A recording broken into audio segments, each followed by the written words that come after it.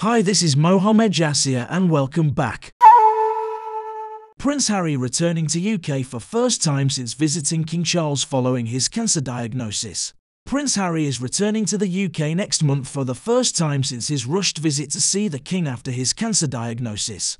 The Duke of Sussex will attend a ceremony on May 8 marking the 10th anniversary of the Invictus Games. The service of Thanksgiving at St Paul's Cathedral is the first major event he has attended in Britain for some time. It is not known if any other royals will be in attendance at the service, or if the Duchess of Sussex or the couple's children will be in the UK.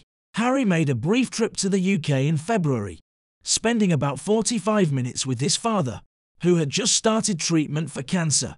The Duke is expected to provide a reading at the event, which marks a decade since the inaugural Invictus Games in London in 2014.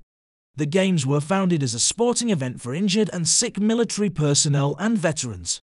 Actor Damian Lewis is set to recite the Invictus poem during the service. Representatives from across the Invictus Games participating nations, including members of the wounded, injured and sick service personnel and veteran community, will also be in attendance.